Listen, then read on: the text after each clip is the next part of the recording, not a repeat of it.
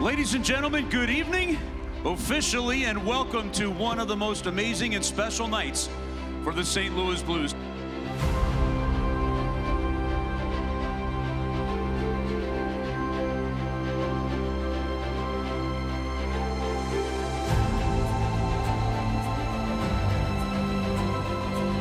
We introduce you to the very first ever, the inaugural class, as we finally kick off the St. Louis Blues Hall of Fame.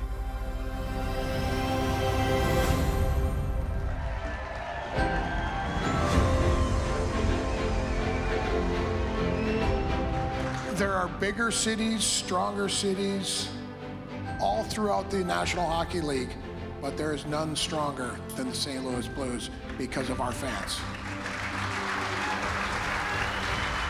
a Calgary reporter uh, was doing a little interview with me, and he asked me like, "What's with the St. Louis alumni? Like, wh- what's with this city?" And we, we all say it: it's the people, it's the fans, it's perhaps the best sports fans in the country.